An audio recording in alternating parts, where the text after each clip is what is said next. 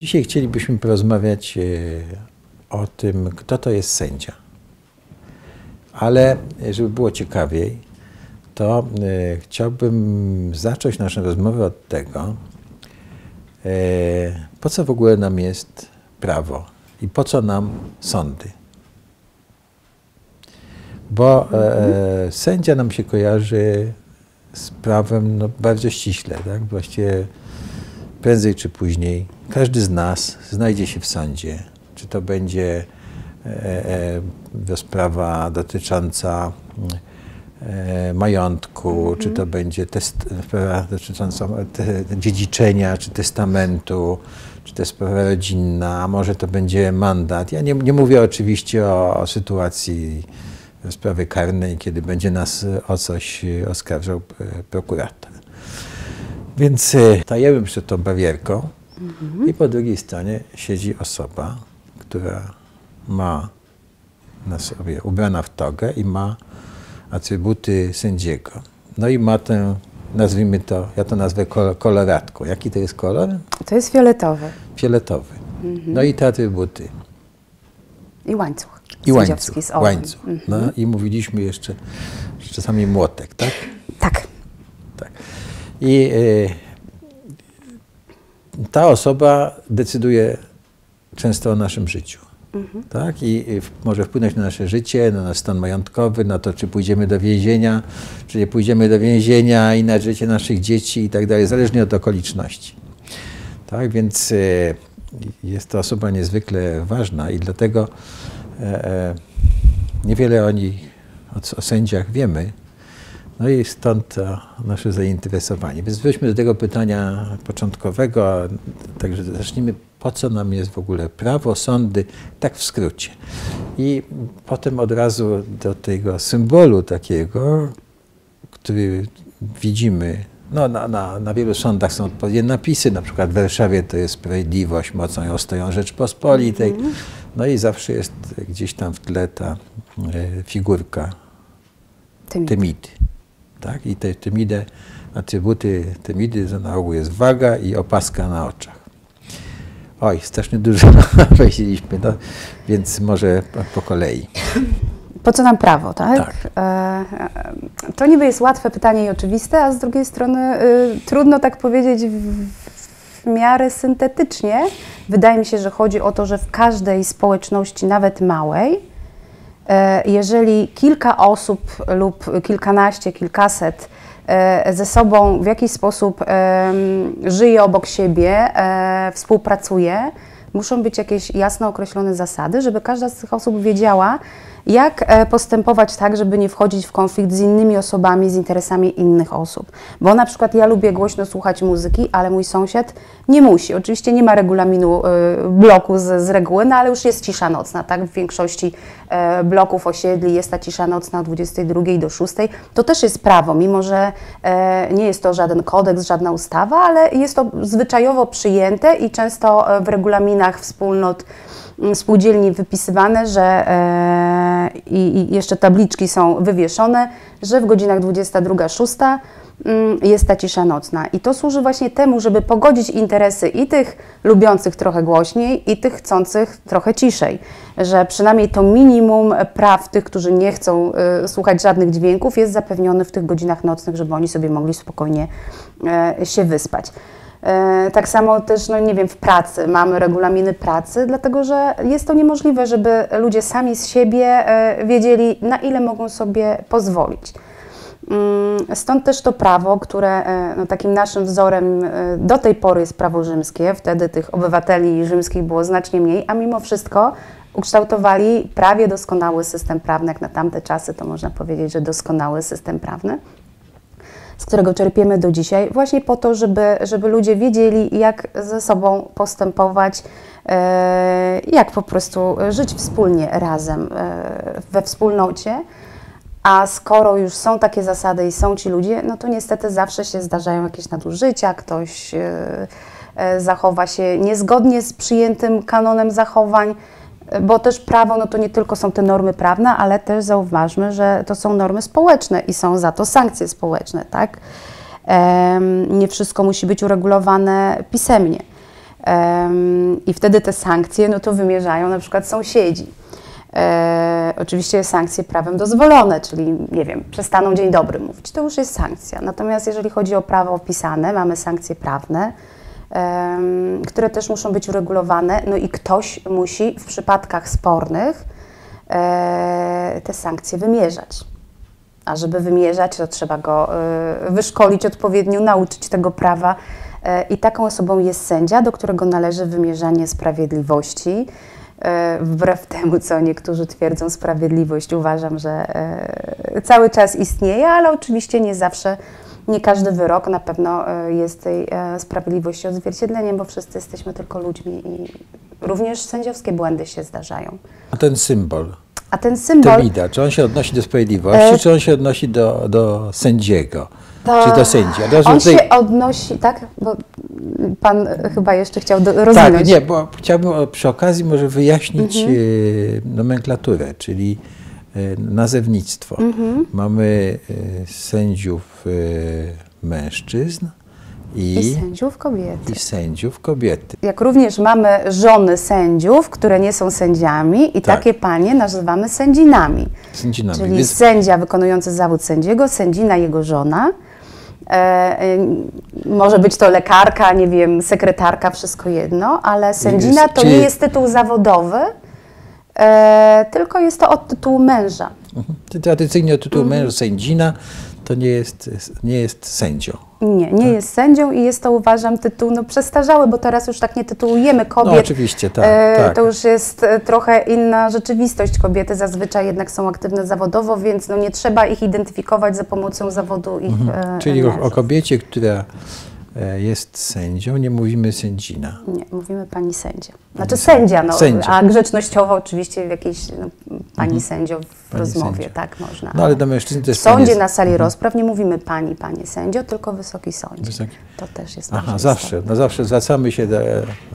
Albo proszę sądu. Proszę to, sądu. Ten wysoki to tak zwyczajowo, ja tak zawsze mówię, ale, ale e, przynajmniej proszę sądu, natomiast nie zwracamy się e, e, per pani czy per panie sędzio, tylko właśnie zawsze do sądu jako urzędu, instytucji, organu, który, który Obojętnie, czy tam Mhm. jest kobieta czy mężczyzna, wezmę wysoki sądzie albo proszę sądu. tak.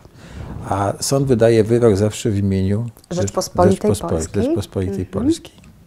No, no to e, wróćmy jeszcze do tej te, temidy, tego Temida. symbolu. Tak. E, Temida e, ma opaskę, e, która ma jej zapewnić bezstronność. Mhm. Bo jak patrzymy, to no jednak e, chcąc, nie chcąc, jedni bardziej, inni mniej, ale w jakimś sensie, w jakiś sposób oceniamy e, już po wyglądzie, tak? Ten jest lepiej ubrany, z wyższej warstwy społecznej może, a tamten to, e, to trochę gorzej, to z jakiejś niższej. E, Ja mówię o, o trochę starszych czasach, bo może teraz też tak to e, nie jest widoczne, ale kiedyś jednak ten status majątkowy też miał e, znaczenie, a to z tamtych czasów bądź co bądź ta Temida e, się wzięła. Więc ona ma opaskę, żeby absolutnie nie oceniać e, po tym, co widzi i wagę, żeby ważyć rację jednej i drugiej strony.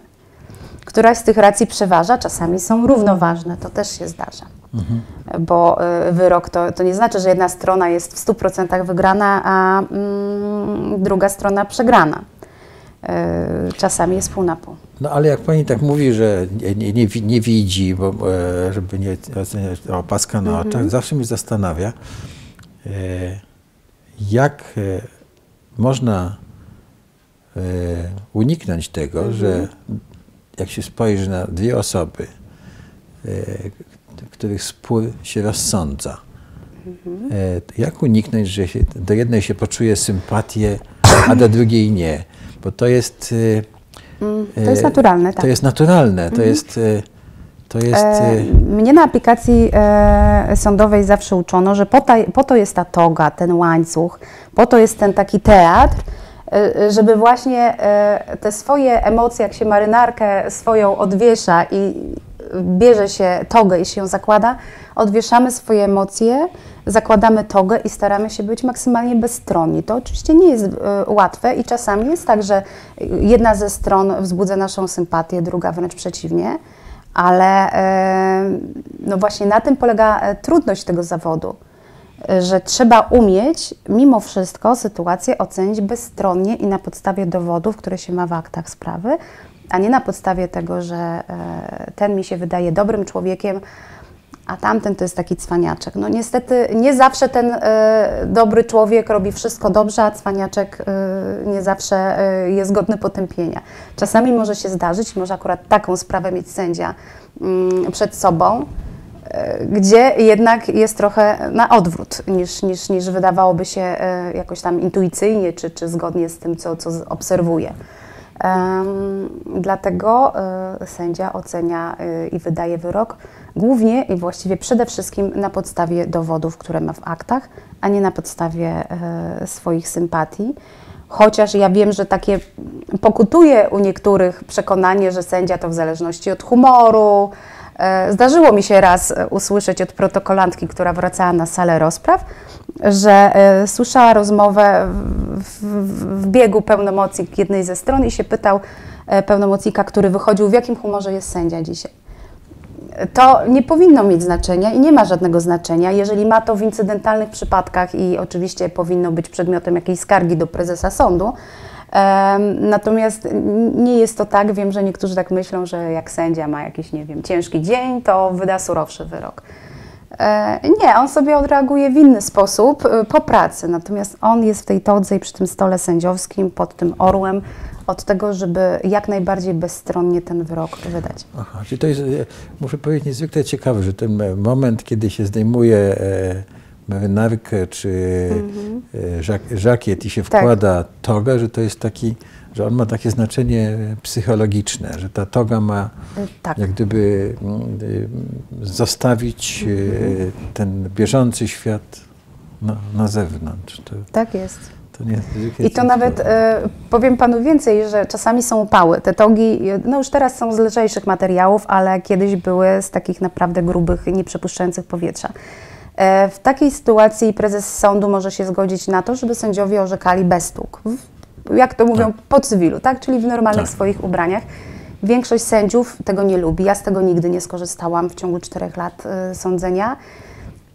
Czuję się niekompletna jako, jako, jako ten sędzia. Czegoś mi brakuje. To jednak jest mhm. głęboko e, gdzieś tam wdrukowane ja, w głowę. Ja muszę powiedzieć, że e, z punktu widzenia osoby, która stała za barierką, mhm. tak, że jednak ten sędzia w todze no też stwarza Mhm. Taki dobry dystans, e, no tak. ch chyba, tak, dla tego. Ale to tak na marginesie. To wróćmy teraz w takim razie do takiego momentu, jak się zostaje sędzią. Mhm. tak najpierw formalnie, a potem mhm. jak to się podejmuje decyzję, żeby zostać mhm. sędzią? Przecież to jest wyzwanie. No, tak człowiek no, decyduje o życiu innych, naraża -hmm. się, tak, musi e, wnosić w sobie, jeżeli jest niepewny tego, co zrobił, to musi mhm. wnosić w sobie, że jakiś ludzi skrzywdził. Jak się, jak się, może najpierw tak technicznie, jak się zostaje sędzią? E, technicznie się zostaje sędzią w ten sposób, że trzeba skończyć studia oczywiście, znaczy oczywiście teraz jest to oczywiste w tak. latach y, niechlubnych w przeszłości, to, to, to, to różnie bywało ale studia prawnicze i później e, aplikację e, sądową. Albo e, można skończyć jakąś inną i na przykład być radcą prawnym, notariuszem, adwokatem, prokuratorem. I z tego zawodu też można przejść bez żadnych dodatkowych egzaminów, tylko trzeba zgłosić swoją kandydaturę, oczywiście no, e, wskazać między innymi sprawy, w których się brało udział, na przykład adwokaci, radcy prawni, mhm. e, żeby e, sędzia opiniujący kandydaturę e, zobaczył, czy, czy dana osoba się nadaje do tego zawodu, czy nie. To nie jest tak, że tak hop, siup, jestem wpisana na listę radców prawnych, zgłaszam się na sędziego i zostaję tym Pyk, sędzią. Jestem, nie, tak, to tak nie jest. Ale można, ponieważ mhm. pytanie jest, jak można e, tak formalnie, no to, no to można też przejść z innego zawodu prawniczego i można też być pracownikiem naukowym, profesorem albo mm, doktorem e, habilitowanym i zostać i e, też e, zgłosić swoją kandydaturę na sędziego. I takie osoby bez aplikacji mogą zostać sędziami. Ale kto o tym decyduje? O tym decyduje, no finalnie decyduje Krajowa Rada Sądownictwa i później przedstawia kandydaturę prezydentowi, prezydent na- e, nominuje na sędziego. Natomiast zanim e, dany kandydat trafi do e, Krajowej Rady Sądownictwa, to się na jego temat wypowiada e, kolegium danego sądu, tego, do którego się kandydat zgłasza. To jest takie ciało, do którego należy kilkudziesięciu sędziów. Na ogół to też sądy są różne. Są, ja jestem w warunkach warszawskich, to, to trochę inaczej, ale, ale no w tych małych na pewno o wiele mniej. A później zgromadzenie sędziów danego sądu głosuje, czy chcemy takiego kandydata na sędziego, czy nie chcemy. Mm, I później te kandydatury są przekazywane e, Do Krajowej Rady do Sądownictwa. Krajowej Rady Sądownictwa, która no, y, zazwyczaj się kieruje liczebnością głosów, nie tylko, ale no, to też jest y, jakby w praktyce bardzo, bardzo ważne, czyli kandydat, Mhm. który nie spotkał się z dużym poparciem, e, ma raczej mniejsze szanse w tym KRS-ie w praktyce. Jeden szczebelek, jeżeli ten Mhm. pro, profesor, czy radca prawny, czy absolwent Mhm. y, Wydziału Prawa się zgłasza do Mhm. sądu y, i mówi, "Chc- chcę, chciałbym zostać y, sędzią w przyszłości, to Mhm.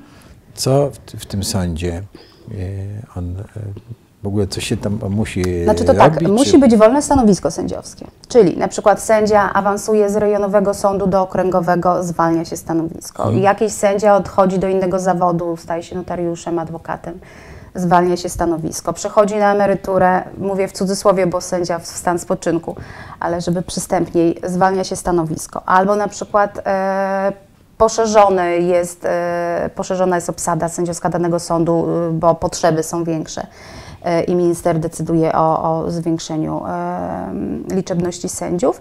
E, Wtedy w monitorze sądowym ukazuje się ogłoszenie o e, wolnym stanowisku sędziowskim. Jak ktoś chce być takim sędzią, to te monitory sądowe mm, Przegląda. przegląda i, i śledzi. Mówi, o, tu jest miejsce. tu jest miejsce i wtedy może e, się zgłosić. No i dobrze, i co potem się dzieje? Przecież taki absolwent, który jest świeżo po, po prawie, czy nawet Mhm. ktoś, kto był radcą prawną, przecież nie, nie pójdzie od razu na salę, nie założy togi i nie pójdzie od razu, e, e, żeby sądzić. No ale e, po, e, radca prawny to jest ktoś, kto po aplikacji czteroletniej radcowskiej, tak? Mhm. Więc, e, która obejmuje również praktyki w sądzie, więc to nie jest taka osoba. Rozumiem, tak. która, no, to, no, to nie jest e, świeża osoba, czyli, e, ale co, od razu tak na salę? Bardziej bym się bała takiego na przykład profesora, który całe życie pracował naukowo i nagle zapragnął zostać sędzią, a nigdy nie był na sali sądowej, bo to teoretycznie jest do wyobrażenia. No, Tak? W praktyce się raczej nie zdarza, ale, ale jest to teoretycznie do wyobrażenia. To też e, wspomniałam o tej całej procedurze i o tym, że tacy kandydaci są sprawdzani pod względem merytorycznym. To znaczy muszą przedstawić sądowi e, nie więcej niż 100 spraw, w których brali udział jako pełnomocnicy stron. I na tej 100. podstawie y, jest wybierany jeden sędzia z sądu, do którego aplikują, mm, który no, jest ten maksymalny, no bo niektórzy jak mają po kilkaset e, spraw e, rocznie, a są od e, x lat adwokatami czy radcami prawnymi, to gotowi byliby zarzucić tego biednego Jasne, sędziami tak. tysiącem spraw. E, I, jest to materiał ich pisma procesowe, sposób e, w jaki piszą apelacje, w jaki formułują pozwy.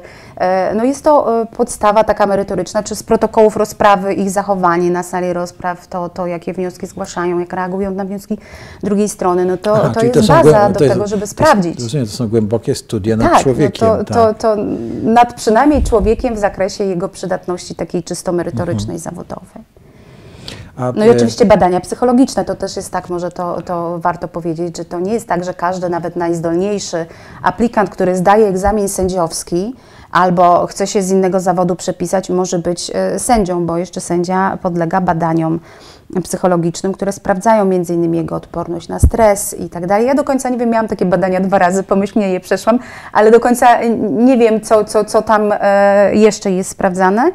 Mm, Na pewno, na pewno e, no przede wszystkim odporność na, na, na, na, na stres i E, jeżeli ktoś takiego egzaminu, takiego testu psychologicznego e, nie zaliczy pozytywnie, to nawet gdyby był geniuszem, to niestety ma zamkniętą Rozumiem. drogę. A proszę mi powiedzieć, na, na sali sądowej to jest jeden sędzia czy ki- kilku? Bo ja już nie, nie pamiętam. E, To zależy od rodzaju spraw. E, Zasadą jest w pierwszej instancji jeden sędzia, e, i, a, a natomiast jeżeli chodzi o sprawy, no różne jeszcze szczególne są postępowania, ale generalnie w odwoławczych sprawach, czyli tych rozpoznawanych na skutek naszej apelacji od wyroku pierwszej instancji. Jest Naszej to trzech- znaczy, e, Naszej mówię... e, e, normalnego człowieka. Normalnego człowieka, który idzie do sądu, ma sprawę, tak? tak. I na przykład przegrywa sprawę, nie podoba mu się to, nie zgadza się z wyrokiem, zawsze się może odwołać do sądu drugiej instancji. I ten sąd drugiej instancji zawsze już występuje w składzie trzyosobowym, trzech sędziów zawodowych. I jeszcze w sprawach rodzinnych i pracowniczych, chociaż nie wszystkich, są ławnicy. Czyli też jest skład e, trzyosobowy, ale to jest jeden sędzia zawodowy i dwaj ławnicy, reprezentanci społeczeństwa. Tak zwany ci- czynnik społeczny. Rozumiem. A ci, a ci ławnicy to w zasadzie co mają do gadania? Mają do gadania, no mają tyle do powiedzenia co sędzia. Nawet się zdarzają przypadki, że są w stanie przegłosować sędziego, bo jest dwóch ławników i jeden sędzia, narada nad wyrokiem i na przykład sędzia ma jakąś tam swoją koncepcję, a ławnicy inną i go przegłosowują, więc to się może zdarzyć. A czy, ła- czy ławnicy muszą mieć e, jakąś znajomość prawa? No, powinni, Powinni, mieć, powinni tak, mieć. natomiast e, nie są to, nie są to, czy to nie, nie wyklucza e, prawnika e, z bycia ławnikiem żaden przepis, ale zazwyczaj są to osoby, które nie mają e, wykształcenia prawniczego. E, one, one są po to, żeby, to, no to tak się mówi, że to jest relikt starych czasów, wiadomo, ale no, idea jest taka, że oni mają być tym głosem ludu. E, żeby nie tylko to prawo, które czasami jest twarde e, i, i, i bezwzględne, ale, ale, ale właśnie ten czynnik społeczny i oni mają e, gwarantować, że ta sprawiedliwość też dojdzie do głosu. Rozumiem. Czyli e, e, tak formalnie, żeby zostać sędzią, to nie jest e, taka prosta droga, tylko po prostu. To, a, tak, mm, e, e, jeśli chodzi o taką e, de- decyzję osobistą, to czy to trzeba mieć jakieś specjalne predyspozycje do tego, żeby być sędzią, czy oczywiście pewnie u każdego sędziego i, inaczej, tak, ale Znaczy tak, powiem jak, tak. jak się podejmuje taką pewno- decyzję, o zostanę sędzią. Na pewno trzeba mieć łatwość podejmowania decyzji. Nie każdy tak ma. E, Nie każdy ma taki dar, w sensie e, e, o to mi chodzi. I to nie chodzi o podejmowanie decyzji, którą sukienkę kupię, bo z tym ja mam problem, na przykład ogromny, a, ale przy podejmowaniu jakichś istotnych życiowych decyzji, to już zauważyłam kiedyś, że ja to robię szybko. To nie znaczy, że nie frasobliwie, ale u mnie to jest szybko. Szybka ocena sytuacji i, to albo to decyduje się. Więc taką umiejętność trzeba mieć. Miałam kiedyś taką znajomą, która miała ogromne problemy z podejmowaniem decyzji. Ona była bardzo dobrze przygotowana, była bardzo dobrym, jest bardzo dobrym człowiekiem, ale no nie nadawała się do tej pracy, bardzo się męczyła i w rezultacie zmieniła zawód, e, jest notariuszem i, i e, okazało się, że się nie sprawdziła. Mi jest trudno powiedzieć, co trzeba poza tą jedną cechą, którą na pewno trzeba mieć.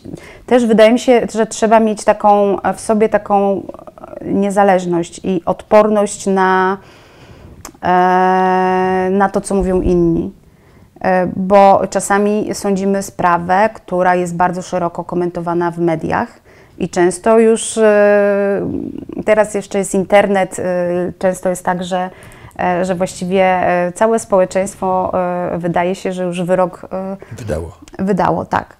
A jednak nie można się pod tym ciężarem ugiąć, bo prawda czasami jest inna niż ta, którą podają media, które nie mają dostępu do akt sprawy i nie wiedzą wielu rzeczy, które sędzia ma przed sobą.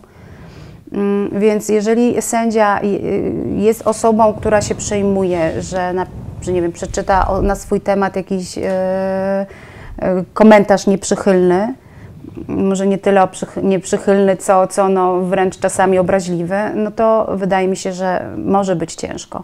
Bo raz na jakiś czas, y, to też zależy gdzie się orzeka, ale jeżeli w większym jakimś mieście, to się zdarza jakaś sprawa medialna. W warszawskich sądach, no to właściwie Ciągle tak. ciągle i cywilne, i karne. Em, Więc myślę, że to też trzeba mieć w sobie taki i dystans albo mieć, albo wypracować, bo myślę, że to jest rzecz, którą, której można się nauczyć. Znaczy można w sobie wypracować taki dystans, takie podejście, e, które, które no, umożliwi normalne funkcjonowanie. No bo No to jest bardzo ciekawe. Ja rozumiem, że tutaj e, e, istotą jest e, i ważną rzeczą jest też coś, co nazywamy immunitetem e, sędziowskim. To znaczy, że sędzia e, jest po to chroniony, żeby nie ulegać tym wpły- wpływom. Tak. Czy to działa tak e, w praktyce? W praktyce wydaje mi się, że działa, zwłaszcza, że to też jest instytucja, która jest e, od dawna e, jakby obecna w, i, i, i chyba się sprawdza. Natomiast e, oczywiście, że znane mi są takie głosy, że, że po co sędziom immunitet zabrać, bo to tylko nadużywają.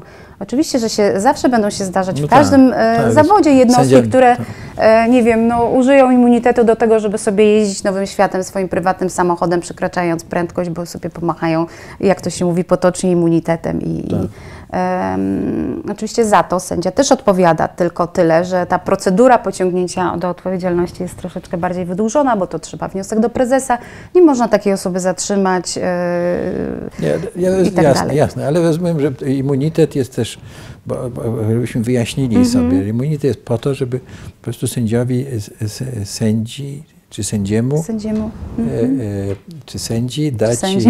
e, dać ten komfort, że nie, nie wiem, prawda, jakiś zna- znajomy ma znajomego w policji i będzie go tam, Tak. Mhm. nie wiem, prawda, się ścigał, czy zostanie, czy będzie jakoś se- sekowany, żebyśmy to Mhm. ro- rozumieli.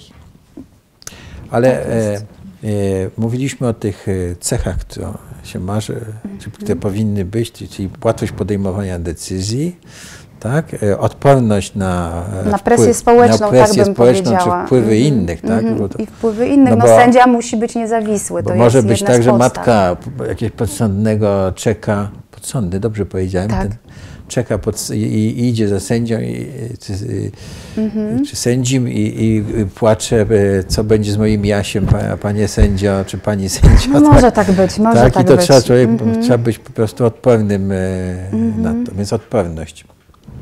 No ale jeszcze dochodzi przecież taki e, cecha, że trzeba znać prawo i umieć je Dostosować dostosować. I czasami tak mi się wydaje, że w niektórych kwestiach to Mhm. trzeba gdzieś e, jeszcze, to prawo się w Polsce tak na, na przepisy się nakładają na, Czasami na tak siebie. też y, cały czas Czyli jednak ana- jeszcze one są w czasie tej, może nie transformacji, bo to już lata 90. bardziej, Mhm. ale cały czas jednak e, jeszcze one się zmieniają, em, jakieś szczegóły i tak dalej. No to, to, e, powiem tak, ja pracuję zawodowo od 18 lat. E, I też mam czasami problemy. No, taki zawód, on jest trudny. E, To może nie, nie na co dzień jest trudny, to nie jest tak, że ja codziennie mam wyzwania, ale raz na jakiś czas i adwokatowi, i radcy prawnemu, i sędziemu, i notariuszowi e, zdarzają się takie wyzwania. No i trzeba, trzeba sobie jakoś poradzić. Oczywiście, że czasami się konsultuje e, z innymi Czasami też są takie sprawy jednorodzajowe, które wpływają do różnych sędziów w ramach jednego wydziału. No to też e, najlepiej jest porozmawiać, jednak nie o to chodzi, żeby narzucać jakiś swój pogląd, ale że być może wypracować jakiś taki, który będzie dla wszystkich e, do zaakceptowania, a nie żeby każdy sędzia wydawał w podobnej sprawie inny wyrok, bo orzecznictwo powinno być jednolite, żeby było Rozumiem. wiarygodne. Ale e, co jest tutaj ciekawe, jak się w ogóle dochodzi do czegoś takiego jak orzeczenie Mhm. czy, czy wyrok? E, no bo no mamy sprawę, tak, mamy, Mhm. słuchamy stron, mamy e, protokół. No jed, jedna rzecz to jest to Mhm. wrażenie na, czy, czy się wraca do tych protokołów, czy to się no analizuje. jak, wraca jak się, się tak. dochodzi w ogóle, to jest e, A- niezwykle ciekawe, bo przecież to jest nie, nie, niezwykle E, odpowiedzialna e, Mhm. em, rzecz e, zadecydować. Tak. e, Powiem tak, bo są dwa rodzaje e, spraw. E, To znaczy, na potrzeby tej e, odpowiedzi e, e, podzielę sprawy na, na, na dwa rodzaje. Te, które, e, w których e, orzeczenie e, i w ogóle postępowanie bazuje wyłącznie na jakichś dokumentach i takie jak na przykład nie sprawa o zasiedzenie, gdzie mamy mnóstwo zeznań świadków i bazujemy na tym, więc te protokoły no, trzeba przeczytać. E, I nasz, jak to mówią, racjonalny ustawodawca e, umożliwia to w ten sposób, że pozwala sędziemu na odroczenie ogłoszenia wyroku. Dwa na dwa tygodnie można po zamknięciu rozprawy odroczyć mm, ogłoszenie. No i się bierze te protokoły, te akta y, w walizce do domu i, no i się czyta. się no. ślęczy I się ślęczy i, i, i się wypracowuje no, jakieś, jakieś orzeczenie, które, które no, w danej sytuacji, bazując na danych faktach, y, w ocenie sędziego będzie sprawiedliwe, słuszne i jeszcze do tego zgodne z prawem, bo to też No tak. czasami jest to dysonans. Przynajmniej y, tak mi się wydaje. No ja miałam kilka takich spraw, że wydawało mi się, że jak wydam wyrok e, zgodny z przepisami prawa, takimi, y, jeżeli ściśle się do nich zastosuje, to on będzie niesprawiedliwy. Też tak bywa. No ale jak to mówią, twarde prawo, ale prawo czasami niestety nie ma ruchu. Czasami jest, a czasami nie ma.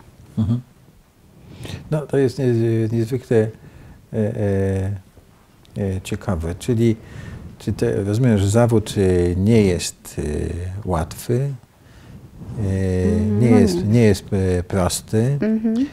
E, żeby zostać sędzią, trzeba być odpornym na e, stres, odpornym na no to ba- badania psychologiczne to wykazują. Trzeba być Poniekąd. odpornym e, na wpływ e, innych osób tak? i e, podejmować szybko decyzje. Umieć, tak, mieć tę Umieć. umiejętność. Przy czym te dwie ostatnie cechy to właściwie e, dla większego komfortu orzekania. No jeżeli ktoś ich nie ma, to też na, e, na siłę No, da nie sobie może sędzia poradzić wie- sobie, ale on się zamęczy przecież. No tak, sędzia. ale zamęczy też i tych e, ludzi, tak? Bo przecież ja brałem udział w takim procesie, który był procesem karnym o ła- łapówkę, no, który trwał już dziesiąty rok. No właśnie.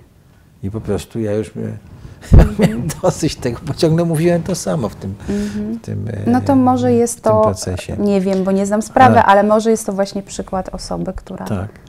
nie jest w stanie E, podjąć decyzji w jedną czy, ani w drugą stronę. e, e, Jest coś takiego jak dobry sędzia? Znaczy, jak to, jak, Mhm. jak to sędziowie między sobą siebie określają? Tak, bo, bo rozumiem, że ci po, my, normalni ludzie, którzy idziemy do sądu, Mhm. no to zawsze mamy tak, że połowa z nas jest zadowolona, z, Mhm.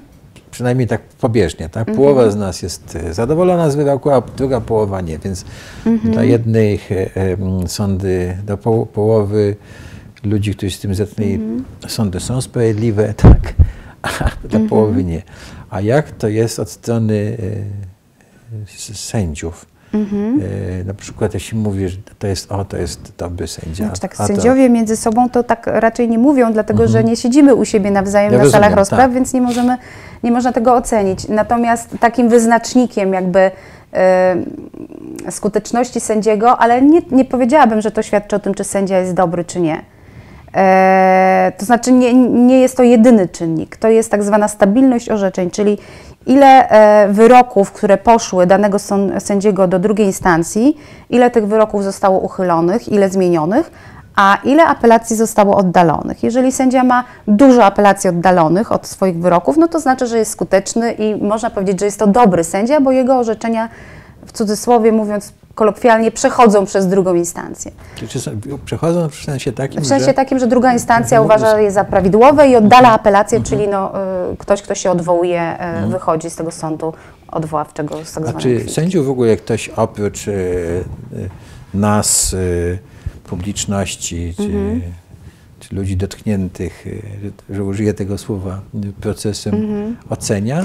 Oj tak, tak, y, Nie? oczywiście, że tak. No Czy można to jest- stracić, czy można w ogóle stracić i być wydalonym z tego zawodu? E, to I- jest na pewno bardzo stabilny zawód, bo, bo, bo, bo no, sędzia jest właściwie nieusuwalny, ale to jest o tyle ważne, że jeżeli on ma być niezawisły, to on musi mieć gwarancję, że nie podpadnie przełożonemu, prezesowi, wydając jakiś wyrok, e, no bo wtedy się będzie bał i będzie wydawał wyrok pod prezesa, tak? No, Teoretycznie, znaczy no nie tylko teoretycznie, ale może się zdarzyć taka sytuacja, że prezes jakąś presję, czy ktoś w, z wyższej instancji, minister, nie wiem, e, będzie, będzie próbował wywrzeć presję na sędziego.